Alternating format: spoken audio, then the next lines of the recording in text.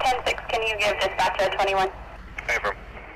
So I came up here uh, first to kind of be the advanced party for the 870th, and so I immediately linked in with uh, Plumas County Sheriff's Office, and uh, they had it all set up. I had a direct link tied right into the Plumas County Sheriff's Office, and uh, they were my go-to.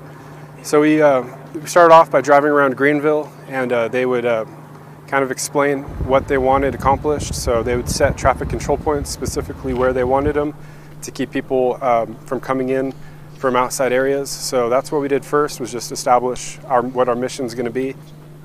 But seeing the destruction, it, it's it's really sad. It it's um, not uncommon now here in California. It's this is the third or fourth city I've seen like this. So it's um, it's just terrible. You in every direction you look, there's destructive buildings. You see chimneys standing up, but that's about it. You see uh, burned out cars. It's pretty terrible. Um, yeah, there's, it's just a lot of emotions going through your mind, but being with someone who was going through a lot more than myself was kind of my main focus. So it definitely increased my morale to help Plumas County because they are a small department. They, uh, they, they, don't have a lot of deputies, so immediately seeing his reaction was kind of like, all right, we really need to step up and uh, do the best we can for this mission because this is a small department.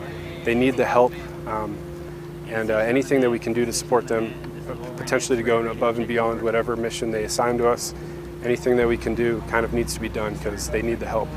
And um, that's exactly what we're, we're, we're here for.